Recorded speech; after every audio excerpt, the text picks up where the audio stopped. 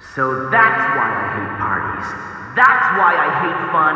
And that's why I'm cranky all the time. How's that?